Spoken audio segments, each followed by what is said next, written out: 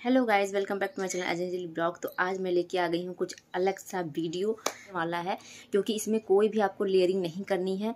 मैं आपको यहाँ पे एक मतलब ये चीज़ बताना चाह रही हूँ कि अगर आप पार्लर वर्किंग हैं, अगर आप पार्लर में वर्क करते हैं तो आप बस क्रीम लीजिए जो कोल्ड क्रीम होती है जो भी आप आ, मतलब क्रीम यूज़ करते हैं कोल्ड क्रीम या मॉइस्चराइजर जो भी यूज़ करते हैं आप उस मॉइस्चराइजर में कुछ कुछ चीज़ें ऐड करके उसको एक अच्छा सा मेकअप बेस बना लीजिए जो प्रोफेशनल लोग यूज़ करते हैं मेकअप बेस तो वो बहुत ज़्यादा महँगा आता है गाइज़ वो तीन हज़ार चार हज़ार से कम नहीं आता है अच्छा वाला अगर आप लेंगे तो।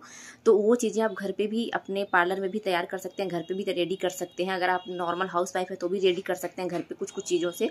तो बस वही चीज़ मैं ऐड करूँगी और एक अप्लाई में आपको पूरा एंगेजमेंट लुक मिल जाएगा। तो इस बेस से आप ब्राइडल मेकअप भी कर सकती हैं। उसमें ज़्यादा आपको लेयरिंग नहीं करना होगा। इसके लिए मुझे एक कांच की बाउल चाहिए। अब मैं इसमें जो जो ऐड करूँगी, वो मैं आपको दिखाने जा रही हूँ। तो सबसे पहले मैं यहाँ पे मॉइस्चराइजर ले रही हूँ। मॉइस्चराइजर जो भी आपकी स्किन को सूट करता है, वो ले सकते हैं आप।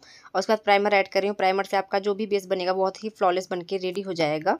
उसके बाद मैं यहाँ पे सनस्क्रीन यूज़ कर रही हूँ। सनस्क्रीन आप इसमें ज़रूर यूज़ करिए ताकि ये अच्छा सा एक ग्लो दे सके। सनस्क्रीन भी हमारे फेस को ग्लो देता है और आपका बेस ग्लोइंग होना चाहिए। उसके बाद मैं यहाँ पे फाउंडेशन ले रही हूँ। फाउंडेशन मेरा ख़त्म हो चुका था तो लेकिन अगर आपके पास अच्छा कवरेज वाला है तो दो पंप आप ले सकते हैं बट ये ख़त्म हो चुका था। उसके बाद मैंने यहाँ पे कॉम्पैक्ट पाउडर यूज़ यूज़ किया है। कॉम्पैक्ट पाउडर इसलिए यूज़ किया जाता है ताकि आपका बेस जो है वाटर बन सके। वो इसलिए मैंने यहाँ पे ऐड कर दिया है थोड़ा स्क्रच करके। उसके बाद मैंने अल्ट्रा लुक का फाउंडेशन यूज़ किया। ये अच्छा कवरेज देता है। वो फाउंडेशन मेरा खत्म हो गया था, इसलिए मैंने इसको यूज़ किया है दो पंप। और उसके बाद यहाँ हाईलाइटर मैंने लिया हाईलाइटर बहुत ज़्यादा मस्ट होता है गाइस बेस में।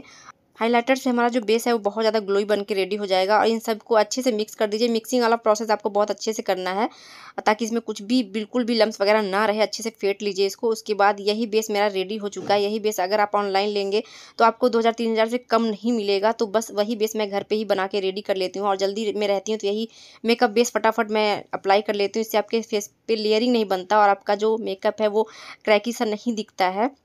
ये देखिए, मैंने अपने हाथ पे अप्लाई करके आपको रिज़ल्ट भी दिखा दिया है। उधर का हाथ और इधर का हाथ, देखिए, काफ़ी फ़र्क है गाइज़ और इसी मेकअप बेस से मैंने इनका मेकअप भी किया। ये मेकअप मुझे तो बहुत सही लगा, इनको भी बहुत पसंद आया था। आपको कैसा लगा बताइएगा। और अगर ऐसे वीडियो के लिए आप सब्सक्राइब कर लीजिएगा और आइए